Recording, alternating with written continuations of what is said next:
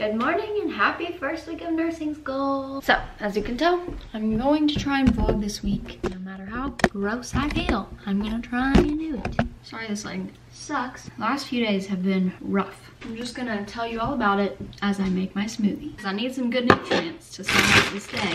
What had happened was on Wednesday, I started feeling a little congested. My throat was kind of hurting, but I just figured it was because it's my normal like sinus infection because the weather had went from being like 70 to like 30 overnight. Of course, I went to Passion, so I was around a lot of people. I kept making sure I didn't have a temperature. I didn't have a cough. It was really just a sore throat because of my congestion. I vlogged on Wednesday getting my planner, and then I had to go to work on Wednesday night. Of course, I like am wearing a mask time. Thursday, I still pretty much the same sick, just maybe like a little more congested in my throat, so my throat was like a little more sore. And so I called my floor and was like, hey, I'm having these symptoms. I wanted to work, but I also didn't want to be like irresponsible and work and then me like get people sick. Even though I do have a mask on, I still feel like there's the risk. So I called and they were like, oh, you don't have a fever, then you're coming in. I'm sure it was because like a lot of people were calling out because we had gotten a lot of snow that day. Sadly, this whole time I haven't been able to enjoy the snow because I worked Wednesday night. I slept all day Thursday and then I went again Thursday night.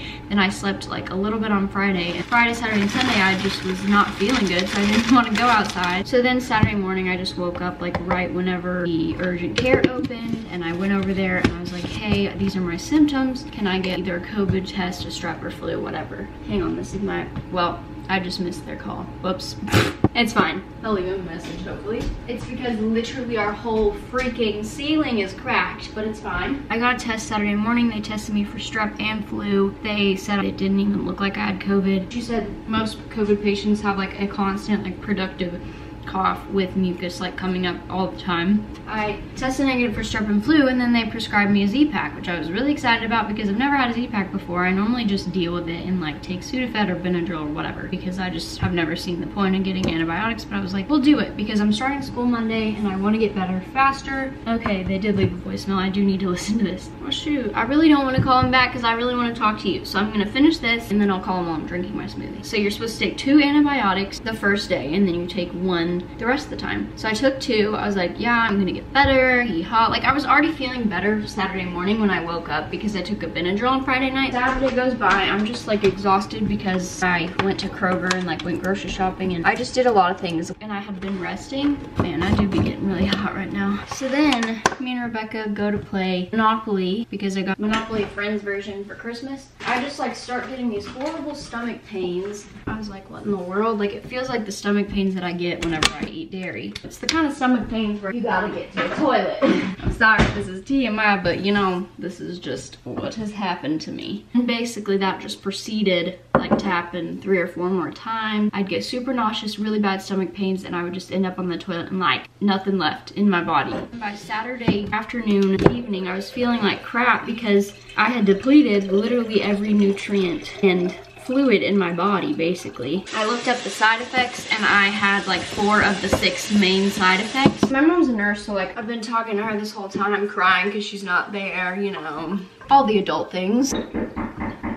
Oh shoot, I got Man, he really called and then was like, I can't wait for her to call me back, so I'm gonna go and knock on her door. Well, it looks like I'm gonna have to continue this vlog later because the dude just came over and was like, we need to fix this immediately and we might be getting kicked out if it's worst case scenario. Hopefully that's not the case because literally the first day of nursing school, I'll update you later. Basically, don't have COVID. I'm more sick from the diarrhea the chick was like, that's not a normal symptom. So when a doctor tries to prescribe you Z-Pak, say no, don't take any of the other medication. I was like, don't worry girl, I didn't take any more. And so now I have a medication that I can say that I'm allergic to because it was horrible. Yeah, and then I started my period today, so we're just thriving. Well, he just looked at it and he said that it's not a big deal and we're not gonna have to move out. He can fix it right away. Hopefully it's actually not bad. I finished my smoothie because I drank it while I was talking to him because I was like, Got to leave for school in like 10 minutes. Let's show you the fit. This is my little grandma turtleneck sweatshirt thing from Goodwill. And this is like four years old, so Be Courageous. These are my Goodwill sweatpants. And then my new, my new Allbirds. I feel like they just make me look so cool. I've never worn like actual shoes before.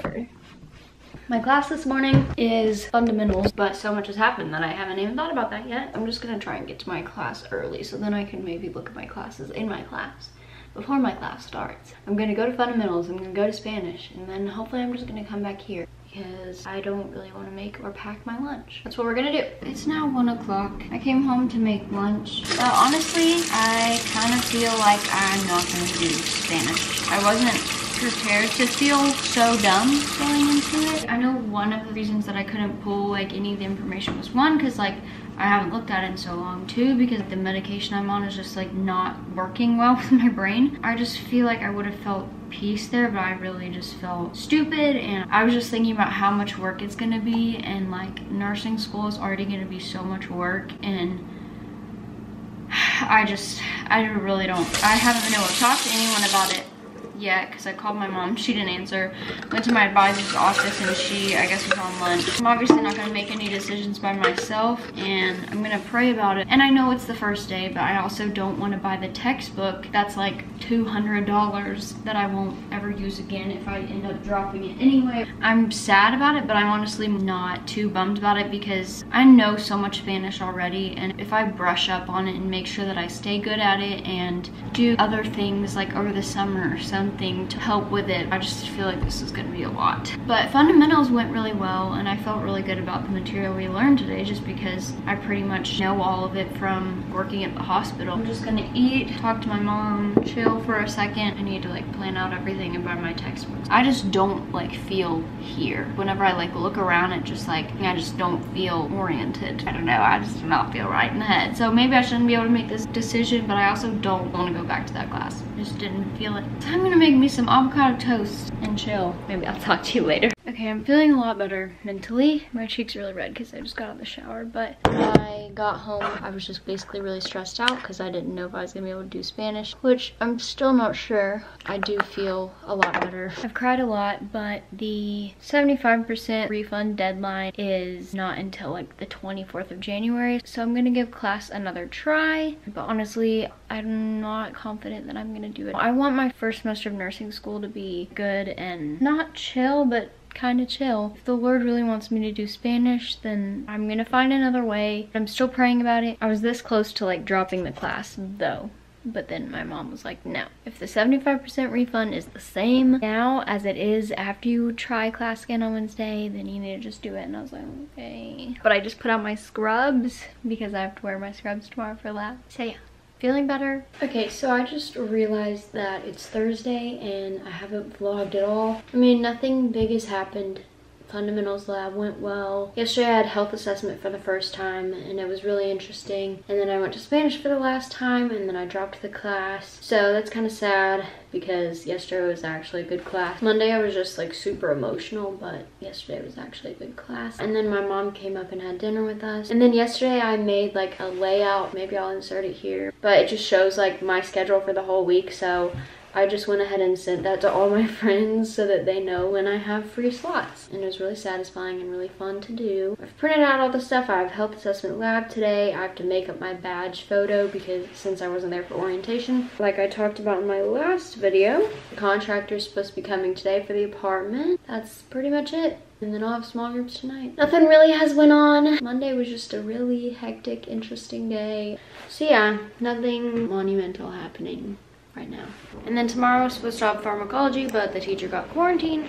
So first class is just a recording, which kind of sucks because three hour class. I'm probably not gonna cook until Saturday or Sunday. I finally finished all my food that I made in my last vlog yesterday, which it was like right on the dot of being a week old, so it's fine. I went and got pad thai last night, so that was nice, and I have leftovers since I went with my brother, and my brother doesn't believe in leftovers. I have his leftovers as well. He got the same thing as me, just with udon noodles. I'm just gonna have the pad thai today for lunch, and then my mom brought me chili that she made, so I'll probably have that tonight. And then I'll probably make is tomorrow tomorrow. Then I'll worry about grocery shopping and meal prepping this weekend. So maybe I'll include that in this vlog. I'm not sure. I don't know how much footage I have. I just realized that I could have had so much content, but uh, it's fine. So I literally just cooked so much in such a short period of time. It's only been like an hour and a half, which isn't bad. I made this glorious Mexican casserole And I definitely made a lot more than last time. I think last time I might have hacked the recipe,